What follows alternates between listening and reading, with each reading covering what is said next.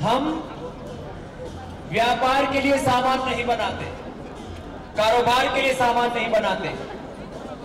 हमने शून्य से यात्रा शुरू की है। एक अनपढ़ माँ बाप के घर से पैदा होकर के, चाहे मैं एक हिंदुस्तान के छोटे से गाँव से निकला, या पूज्य आचार्य श्री को आप देखें, वो भी गाँव की भाषा में एक छोटा सा जमींदार का लड़का आपके सामने खड़ा है, जिसके पास तीन, चार, पाँच एकड़ ज़मीन थी।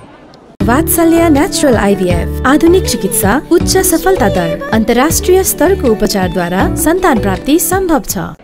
छोटा सा चौकीदार, पूज्य आचार्य श्री के पिता श्री चौकीदारी करते।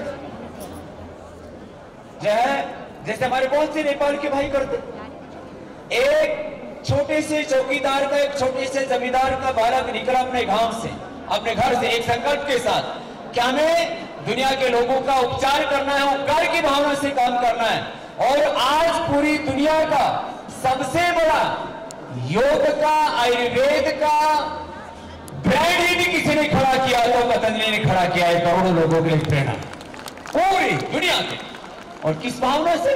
लोगों के उपचार की भावना से, लोगों के उपकार की भावना से। स्वामी रामदेव का कोई बैंक अकाउंट नहीं, सिंगल पैनी हिंदी भाषा में बोलते फोटी, फूटी कोड़ी भी नहीं।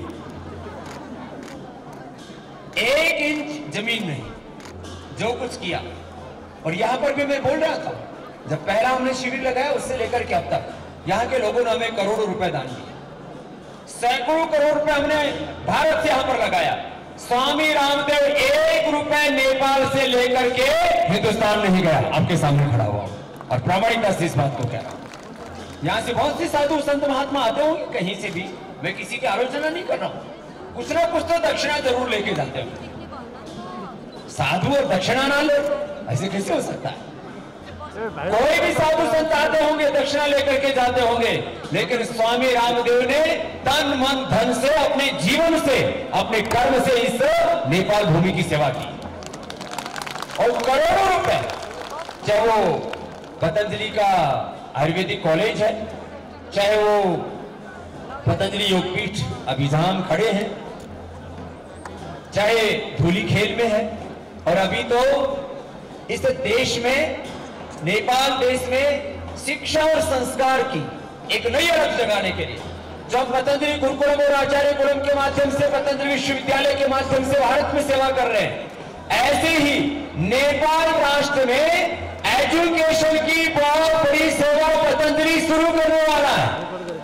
मैंने आदरणीय श्री प्रधानमंत्री जी के साथ साथ, हमारे प्रचंड साहब के साथ साथ, जो भी यहाँ के तंत्र में, व्यवस्था में लोग हैं, उनसे भी बात की है और इस भावना के साथ कि यहाँ बच्चों को वर्ल्ड क्लास एजुकेशन मिले। यहाँ जिस बच्चे के पास थोड़े से पैसे होते हैं, कोई भारत चला जाता है पढ़ने के लिए। कोई ऑस्ट्रेलिया चला जाता है कोई यूरोप चला जाता है कोई यूके यूएसए कोई कनाडा कहीं ना कहीं बाहर ढूंढते हैं। कोई छोटे छोटे और देशों में चला जाता है किसी को मेडिकल की एजुकेशन लेनी किसी को इंजीनियरिंग की एजुकेशन लेनी। है हम एजुकेशन का भी देश का नेपाल देश का सबसे बड़ा केंद्र पतंजलि की तरफ़ से बनाने के लिए प्रतिबद्ध और उसको बना करके दिखाएँगे यहाँ के लोगों की सेवा करेंगे यहाँ के लोगों को उभारेंगे।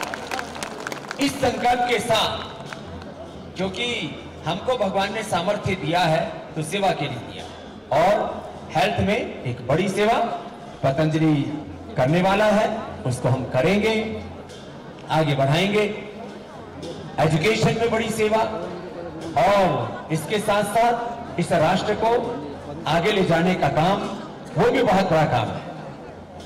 नेपाल राष्ट्र की एकता, अखंडता और संप्रभुता उसको भी आगे ले जाने के लिए सबको एक सूत्र में बांधना नेपाल के सामने जो आगे आर्थिक चुनौतियाँ हैं, आर्थिक प्रश्न हैं, बहुत सारे सामाजिक प्रश्न हैं, कृषि की को एग्रीकल्चर को कैसे उठाना इंडस्ट्री को कैसे यहाँ पर बढ़ाना, बहुत सारी चीज़ें उसमें एक बहुत बड़ा प्रश्न है, सांस्कृतिक एकता